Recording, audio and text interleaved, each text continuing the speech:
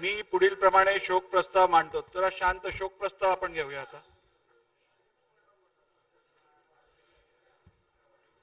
श्री माणिकराव होडल्या गावित माजी विधानसभा सदस्य व माजी केंद्रीय राज्यमंत्री श्री किसनराव नानासाहेब देशमुख माजी विधानसभा सदस्य व माजी राज्यमंत्री सर्वश्री तुकाराम गंगाधर गडाख श्री विनायक महादेव निमण दिगंबर बाळोबा भेगडे सोपनराव तुकाराम फुगे विना श्रीनिवासराव उर्फ बापूसाहेब बाळाजीराव देशमुख गोरठेकर विठ्ठलराव सोनाजी पाटील माजी विधानसभा सदस्य व श्रीमती अॅनी सितंबला शेखर माजी विधानसभा सदस्य.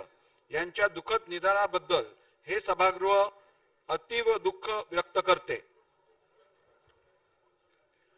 कैलासवासी माणिकराव होडल्या गावित यांचा जन्म एकोणतीस ऑक्टोबर एकोणीसशे सदतीस रोजी नंदुरबार जिल्हा नवापूर तालुक्यातील धुडीपाडा येथे झाला. त्यांचे शिक्षण सातवी पर्यंत झाले होते. कैलासवासी गावित यांची घनराट आदिवासी सेवा सहकारी सोसायटीचे संचालक विसारवाडी एज्युकेशन सोसायटीचे अध्यक्ष आदिवासी सहाय्यक सहकारी संस्थेचे उपाध्यक्ष म्हणून उत्तम कार्य केले होते. कैलासवासी गावित यांनी नवापूर ग्रामपंचायतीचे सदस्य धुळे जिल्हा परिषद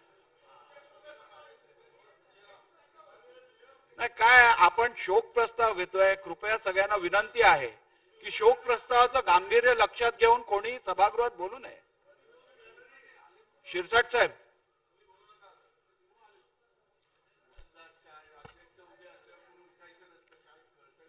कैलासवासी गावित यांनी नवापूर ग्रामपंचायतीचे सदस्य धुळे जिल्हा परिषदेचे समाज कल्याण समितीचे सभापती म्हणून कार्य केले होते. सन एकोणीसशे ऐंशी मध्ये नवापूर मतदारसंघातून महाराष्ट्र विधानसभेवर नवनिर्वाचित झाले होते. ते सन एकोणीसशे एक्क्याऐंशी ते दोन हजार चौदा पर्यंत सलग नऊ वेळा नंदुरबार मतदारसंघातून लोकसभेवर निर्वाचित झाले होते. त्यांनी केंद्रीय मंत्रिमंडळात गृह सामाजिक न्याय खात्याचे राज्यमंत्री म्हणून उत्तम कार्य केले होते. अशा या ज्येष्ठ संसदपटूचे शनिवार दिनांक सतरा सप्टेंबर दोन हजार बावीस रोजी दुःखद निधन झाले.